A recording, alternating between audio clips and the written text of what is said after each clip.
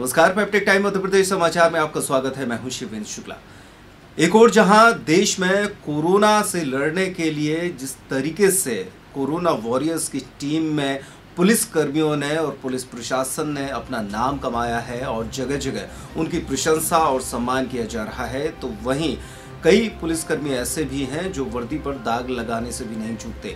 ताज़ा मामला छतरपुर के छत्रसाल चौराहे का है, जहाँ पर एक आरक्षक महोदय ड्यूटी से तंग आकर इतनी ज़्यादा शराब पी चुके थे कि वे अपने घर तक नहीं पहुँच पाए और जिला अस्पताल के गेट के सामने ही रास्ते पर बाइक खड़ी करके सर पकड़कर रोड पर ही बैठ गए।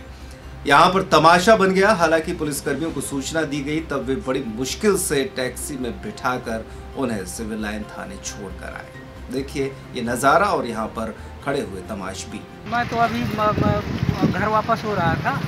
एक पुलिस वाला है, पुलिस वर्दी में है और मतलब जो है बेहो- बेहोशी हालत में, दारू पी के नशे में विक्षिप्त अवस्था में पड़ा हुआ है और यहाँ पर भीड़ लगी हुई है।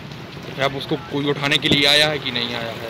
उस पर कोई ध्यान नहीं दे रहे। कुछ लोगों ने सौ उम्र भी लगाया है लेकिन पुलिस अभी तक नहीं आई है। लेकिन यहाँ लोकल के पुलिस वाले जिनकी ड्यूटी है वो लोग यहाँ पर आए हैं और उनसे भी वो समझ नहीं रहा। इतना मधुओं से गया शराब में हाँ मधुस इतना वो इतनी दारू की रखी है कि वो संभल नहीं पा रहा है इस समय।